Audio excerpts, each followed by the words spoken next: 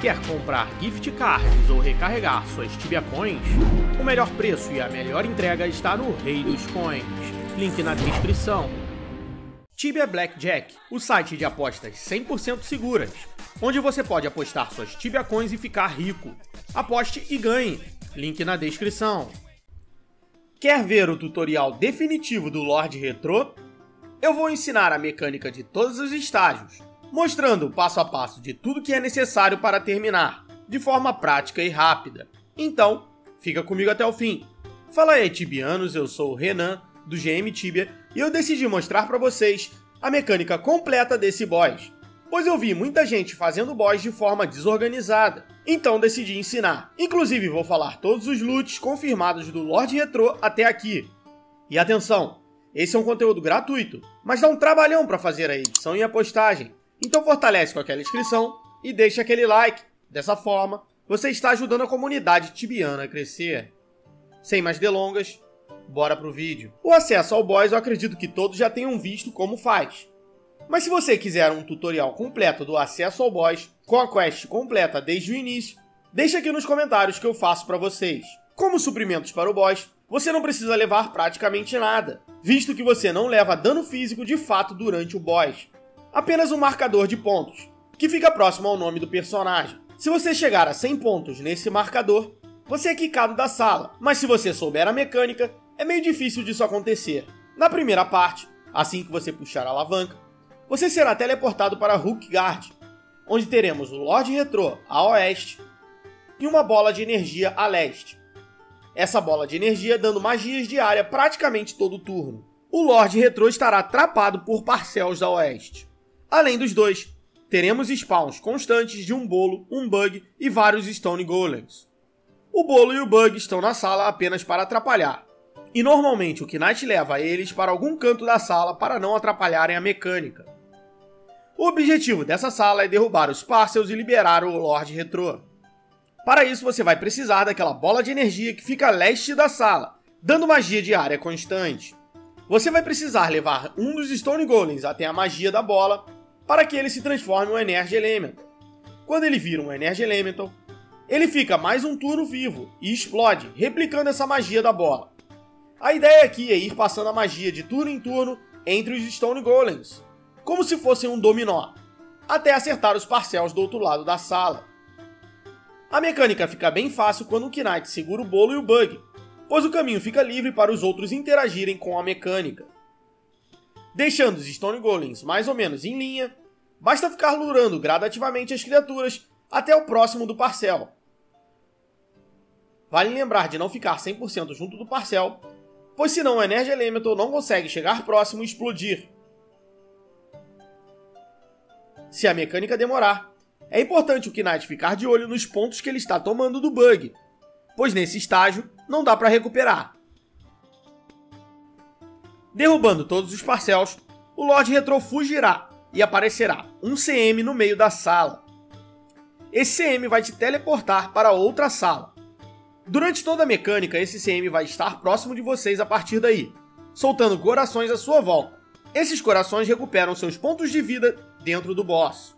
Portanto, sempre que precisar, vá até ele para não ser quicado. E antes do CM levar-nos para outra sala, eu gostaria de lembrar vocês do clube de membros do canal GM Tibia.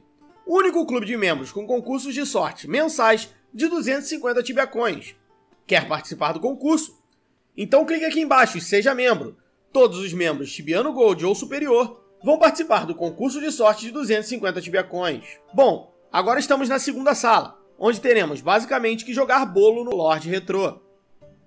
No meio da sala vai ficar um CM, que vai curar seus pontos de vida sempre que estiver próximo. No sul, vai surgir um bolo com vida. Mantenha os bugs e o Ancient Scarab próximos do bolo para que o bolo morra com as magias de área do Ancient e dos bugs. Com o bolo morto, leve o bolo até o norte da sala e use ele no Lord Retro. Você pode usar no Battle se você quiser. Repita essa mecânica e cuidado com seus pontos, pois o Ancient costuma bater bastante. Essa sala é bem tranquila e costuma ser rápida, Resolvida essa sala, vamos para a próxima. A próxima vão ser várias mecânicas simultâneas. Para concluir essa parte, você precisa usar o baú a oeste da sala. Isso somente quando o baú estiver colorido. Quando você usar o baú, vai aparecer um Warhammer no topo do baú. Pegue o Hammer e vá até o CM, que fica a extremo leste da sala. Use o Warhammer no CM e o martelo vai ficar pegando fogo. Use o martelo pegando fogo em um dos Swamp Trolls ou nos Ancient Scarabs, para dar dano no Lord Retro. Além disso, você vai precisar passar com os livros nos SQMs vermelhos cristais e também com os bots nas traps abertas. Portanto, você vai precisar ficar constantemente abrindo essas traps para passar os bots. Se o time for minimamente organizado, dá para fazer essa mecânica bem fácil também. Lembrando que o CM lá na direita da sala vai estar constantemente curando seus pontos de vida. Então, fique de olho nos seus pontos para não ser quicado da sala. Faça toda essa mecânica até terminar a sala e vamos para a sala final. Na sala final, você vai precisar matar os tornados que aparecem na sala. Quando eles morrem, vão surgir uns ovos. Use os ovos na Magic Wall que estão prendendo o Lord Retro ao norte da sala, para liberar o boss.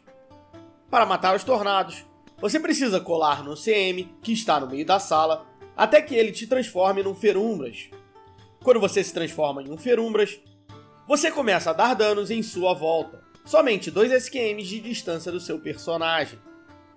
Para facilitar a vida do time, os meios costumam summonar Demons Skeletons. Dessa forma, fica mais fácil atrapar os tornados e realizar a mecânica. As outras criaturas só estão na sala para atrapalhar. Esqueci de mencionar que os livros, tanto da sala anterior quanto dessa sala, costumam dar fear. Não é nada demais, você só vai ficar fugindo de tudo sem controle do seu char por um momento, mas nada muito significativo. Depois de um tempo, você volta a controlar seu char. Matando os tornados, basta pegar os ovos e usar na Magic Wall para derrubar elas. Quando o Lord Retro sair, continue dando dano nele como Ferumbras, que você vai acabar com ele rapidinho. Assim que o boss morrer, vai surgir um baú com vida. E agora sim, você vai atacar normalmente esse baú, com dano natural do seu chá. Derrube o baú para pegar o outfit e as recompensas. Quanto às possíveis recompensas, vamos a elas.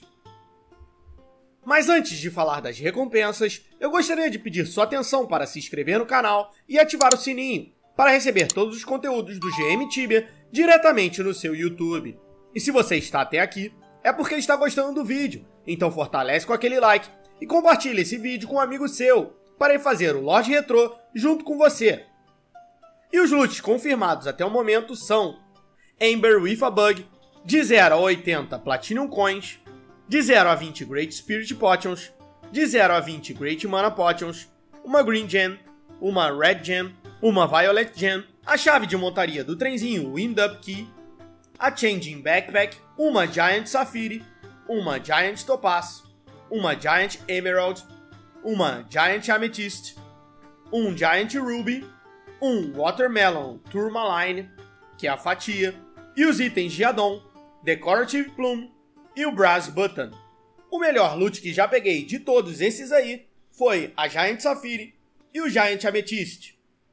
E aí, pegou algo além desses loots? Comenta aqui embaixo. E aproveita para ver o vídeo do boss final do evento The First Dragon, que está acontecendo nesse momento e está aí na sua tela. Um forte abraço do Renan, do GM Tibia, e valeu!